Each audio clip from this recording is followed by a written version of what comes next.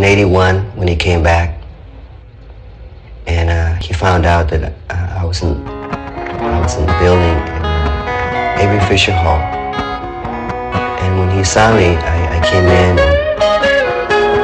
and, in front of all kinds of people, he came right at me, his clothes, and he put his hands like this behind my neck, and he hung his feet off the ground. He was hanging on me,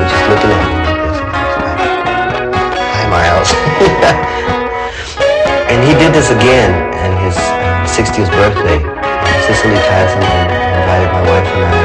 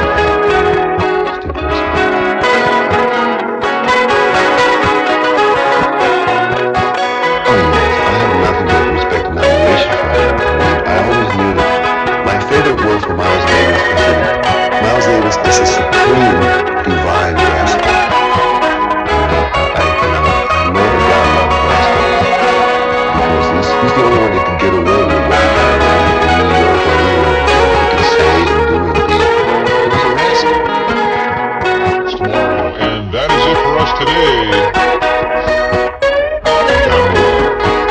Whatever it is, it's not right on the teleprompter. I don't know what that is. I've never seen that.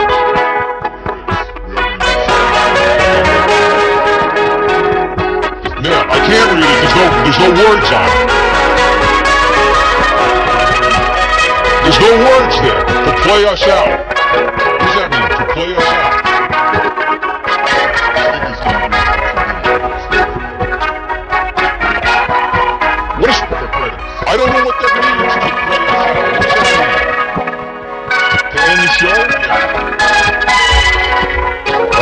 Go.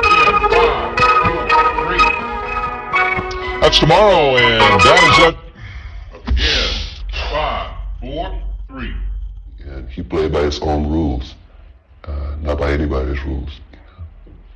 He was always very kind to me. Uh, he was. He. I know he scratched a lot of people in interviews, and especially on his biography, on his book. He was always very kind to me, and, and I'll, I'll always treasure that. I know when I get to heaven, uh, he'd be the first, first person I'm going to look up